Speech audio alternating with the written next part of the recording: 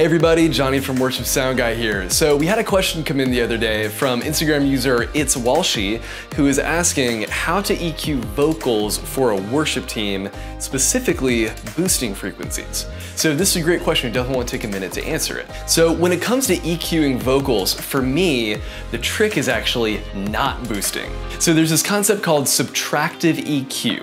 And so basically what that means is we're gonna do the majority of our EQ work by cutting frequencies rather than boosting them.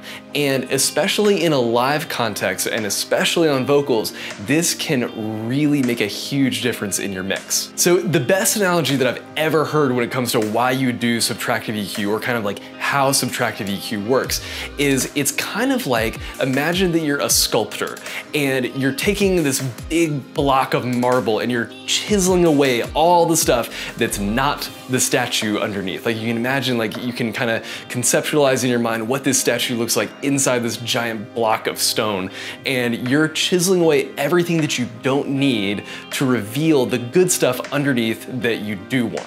And that's exactly the same concept in subtractive EQ. So like for example, you wouldn't try to like super glue other chunks of rock onto this big block of marble to make something that wasn't there before. You wanna work with what you have and strip away what's not good to reveal what is good. So it's kind of like if you think about it, the difference between cutting with your EQ versus boosting. So I'm not gonna say there's never a time to boost when you're EQing vocals, but when I start, I wanna take away what's bad first. So that's like stuff like the boxy frequencies in the mid range or kind of the low mud range down in the low mids. Or maybe there's like some kind of harsh frequency in the upper mids that just doesn't sound musical. Those are the kind of things that I wanna listen for first and take away before I ever think about like what could I add to the sound. I wanna take away the stuff that doesn't sound good. And honestly, 95% of the time, that's all it needs. Like with that kind of EQ and maybe a little tasteful compression in there, you're gonna have an awesome vocal tone. So to get a look at what I'm talking about, let's go ahead and actually EQ a vocal and you can listen along. So let's check out some subtractive EQ on a female vocal. Let's listen to it with no EQ and hear what it sounds like. I will praise you, Jesus, Jesus. You make the darkness tremble. So you can even see on our analyzer here that we've got a huge buildup in the low mid frequencies. So this is the kind of thing where you might hear it and go, okay, I need some more high frequency, and you might be tempted to reach for a high shelf right off the bat. But in this case, what I wanna do is take care of all that stuff in the low mids that doesn't need to be there, and then maybe at the end, I'll worry about adding some more sparkle. But this is gonna be priority number one for me is cleaning up everything that doesn't need to be there. Let's go ahead and do that. I will praise you, Jesus, Jesus. You make the darkness tremble, Jesus, Jesus. So right off the bat, that's a huge upgrade to our vocal tone. And actually, it sounds like we added a high frequency boost, even though all we did was cut about 6 dB right around 280. So the next thing that I wanna do, just to clean it up even more, let's put a low cut filter in there and sort of sweep that up just to get rid of like any kind of low muddiness that just really shouldn't be there to begin with. I will praise you, Jesus, Jesus. You make the darkness tremble, Jesus, Jesus.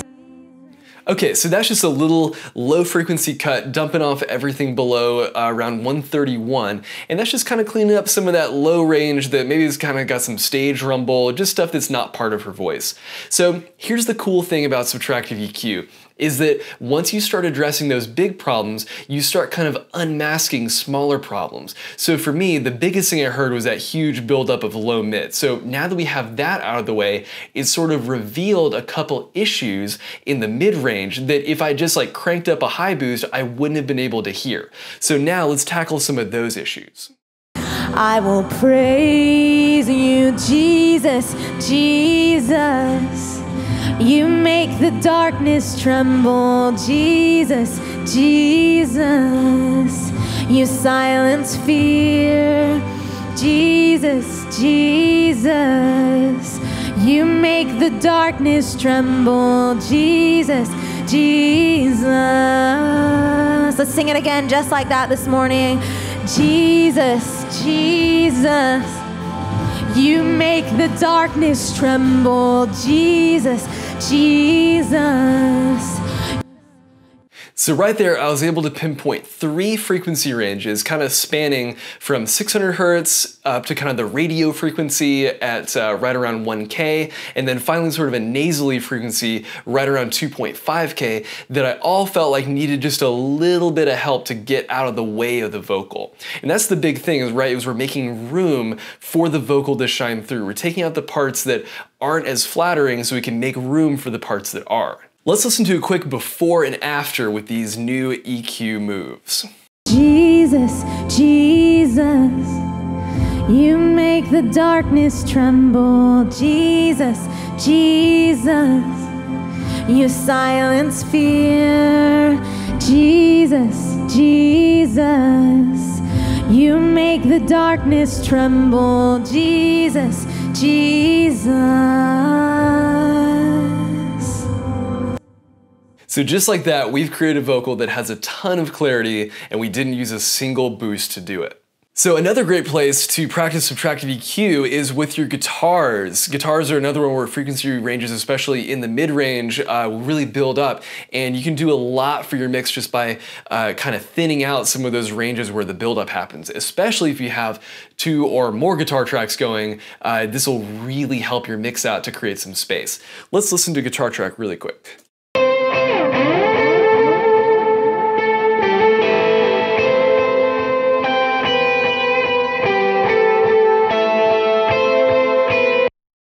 So that part sounds awesome. It's a nice little lead part on the song Tremble.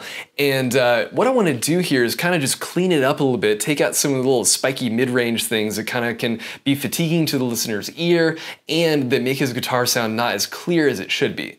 Let's do a couple of those now. So on this guitar track, I did some things that were really subtle, but in the context of the whole mix, it's gonna help to create a lot of space. So the first thing I did was I cut off all the unnecessary stuff at the low and high end of the frequency spectrum. So I just used a high cut and a low cut filter just to zip in and do that to kind of tighten up and focus the guitar into the mid range. Next, I cut out some low mud that was building up right around 440 hertz. I took out kind of a piercing frequency that I heard right around uh, 2.1K. And then I felt like there was maybe just a little too much of that mid-range that was gonna step on my vocals right around 1K. Let's go ahead and listen to the before and after on that. I'll highlight all my bands and turn them off and then turn them all back on again.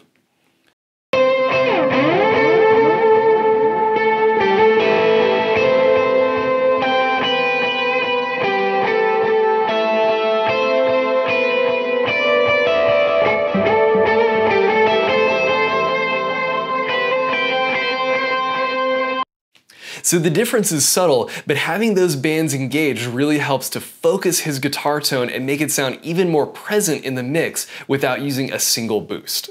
So I hope that gave you kind of a new perspective on how to EQ subtractively instead of just reaching for that boost knob.